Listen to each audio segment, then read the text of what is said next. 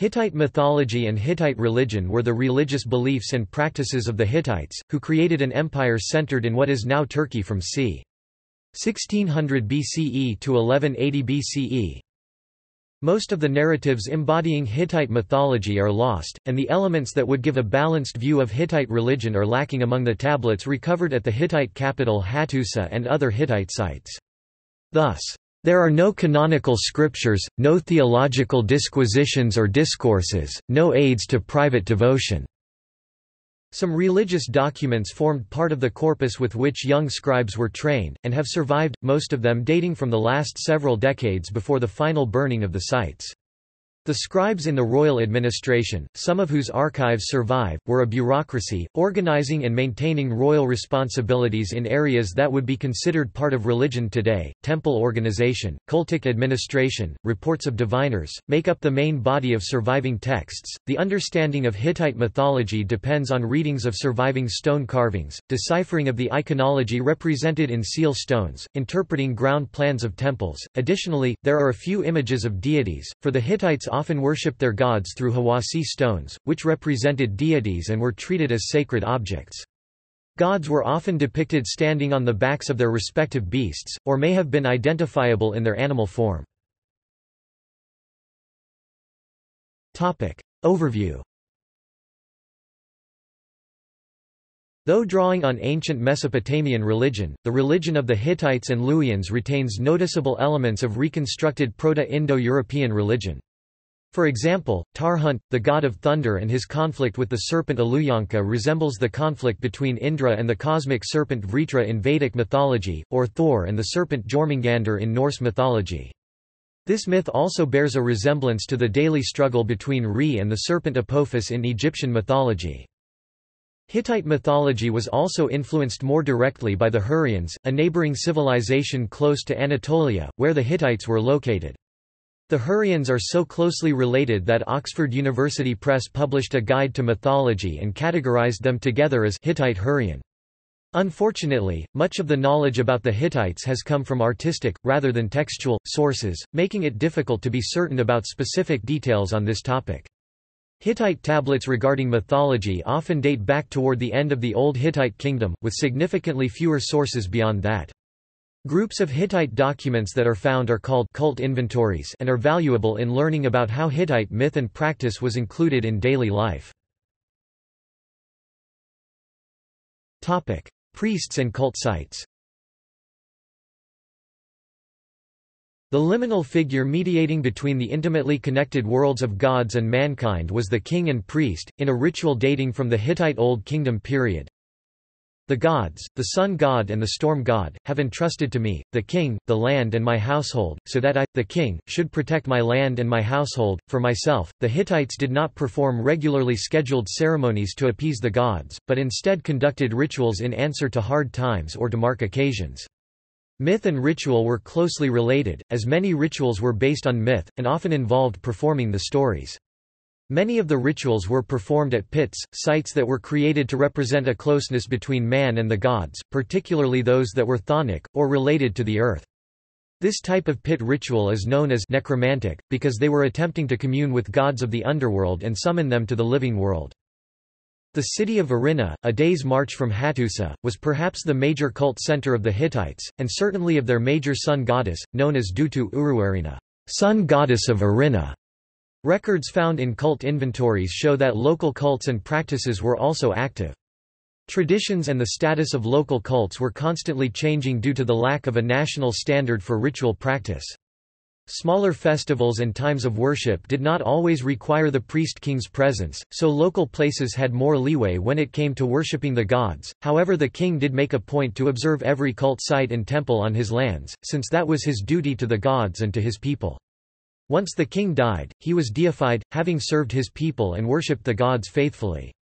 Responsibilities placed upon the priest-king were not one-sided, the gods had to provide for the people if they were being worshipped properly. Gods held much of the obvious power, but without dedicated practice and ritual from mortals, they couldn't function. King Mursili II made a plea to the gods on behalf of his subjects, at a time when their agricultural livelihoods were struggling. All of the land of Hatti is dying, so that no one prepares the sacrificial loaf and libation for you the gods. The plowmen who used to work the fields of the gods have died, so that no one works or reaps the fields of the gods any longer. The miller women who used to prepare sacrificial loaves of the gods have died, so that they no longer make the sacrificial loaves. As for the corral and the sheepfold from which one used to cull the offerings of sheep and cattle the cowherds and shepherds have died, and the corral and sheepfold are empty. So it happens that the sacrificial loaves, libation s, and animal sacrifices are cut off. And you come to us, O gods, and hold us culpable in this matter. Obviously, the preservation of good relationships with deities that were closely affiliated with nature and agriculture, such as Arinna, would have been essential. If the balance between respect and criticism was significantly shifted, it could mean disfavor in the eyes of the gods, and likely a very unlucky harvest season at the very least.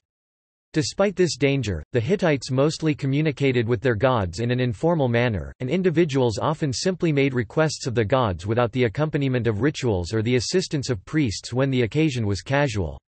The Hittites also utilized associations with the divine in a way similar to the ancient Egyptians, using the will of the gods to justify human actions.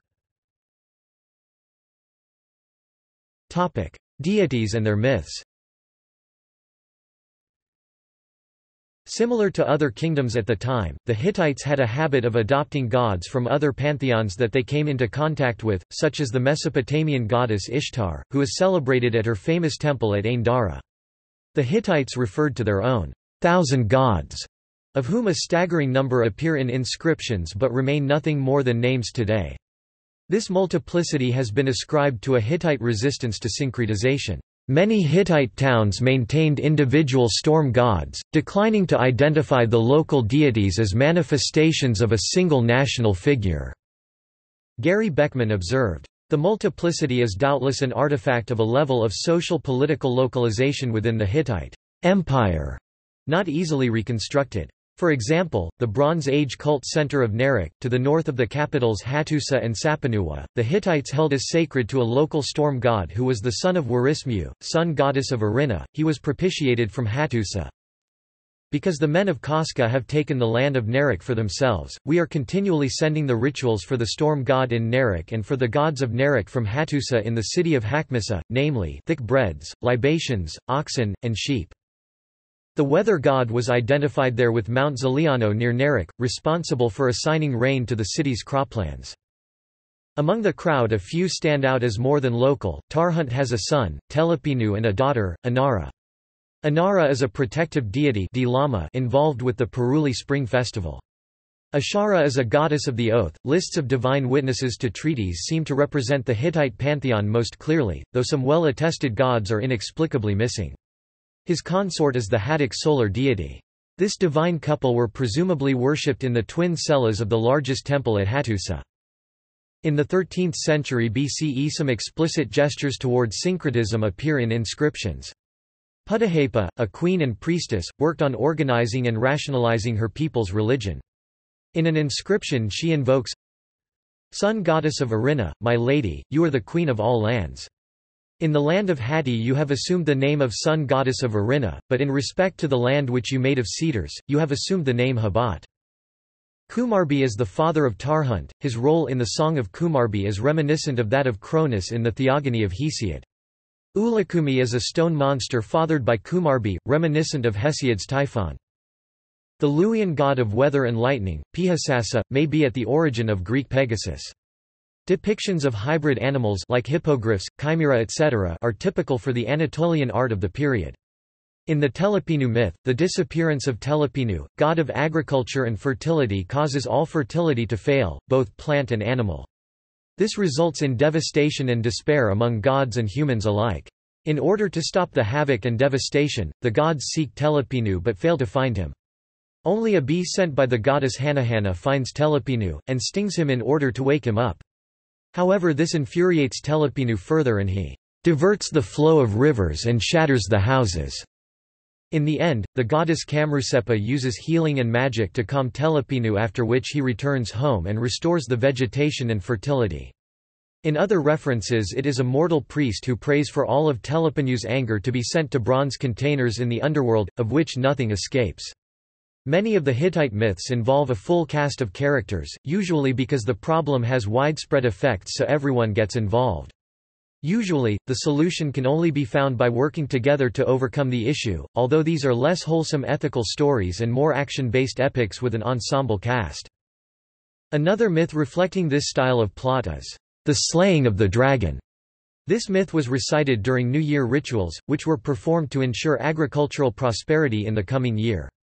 The myth centers around a serpent or dragon that represents the forces of evil and defeats the storm god in a fight. The goddess Inara comes up with a plan to trick and kill the serpent, and enlists a human, Hupasya, to help. Hupasya is, of course, reluctant to assist without some kind of incentive, so he gets Inara to sleep with him before they carry out her scheme. Inara then invites the serpent over and they have a feast, getting so drunk that Hupasya is able to tie the serpent up. The storm god then steps in and slays the serpent himself. Much like in the Telepinu myth, a human was used to help the gods in their plots, which further emphasizes the familiar relationship between mortal and divine. The mortal doesn't have much of a role in the story, but his presence is a help rather than hindrance. It also highlights the roles that goddesses played, within myth and in life. The powerful gods provoke a fight or do something else to create the central issue of each myth, and then the goddesses clean up after them and solve everything with intellect. Unfortunately despite their helpful interference, nature cannot return to its status quo until the god completes the final step before normality sets in. He must wake up and resume his duties, or kill the beast, or some other action that proves his power is beyond all others. Myths regarding deities that were not originally Hittite were often adapted and assimilated. The Mesopotamian goddess Ishtar was one of the many adopted deities who were assimilated into Hittite pantheons through association with similar deities and adjustments to their myths. Since mythology was a large part of Hittite cult practice, an understanding of Ishtar's powers and history was essential to the development of rituals and incantations invoking her. Subtle changes like this were also made possible with her absorption, close association of other goddesses, namely Anzili, as well as Sauska, and Gestanana. With the personality traits of multiple other goddesses, Ishtar's power grew, as did her popularity. One innovative way that she was utilized was in purification rituals such as Elaturahis, in which her affinity for the underworld was exploited and interpreted in a way that benefited the reader and cast her as a protector, rather than a victim, as in Mesopotamian myth. Ishtar's relationship with the underworld also made her a valuable chthonic deity, especially when her other affinities for war, sexuality, and magic were considered. The combination of these characteristics greatly increased her influence, as fertility of the earth was one of the most fundamental priorities for the Hittites. The Hittites even recognized that she was fairly prominent in other cultures and created a ritual which treats her as an international goddess. The differences between outsider deities like Ishtar were respected, even though she had been appropriated for Hittite usage. List of Hittite deities Sources. See also. Category, Hittite deities. Hittite military oath. Hittite art. Hurrian religion. Luwian religion. Notes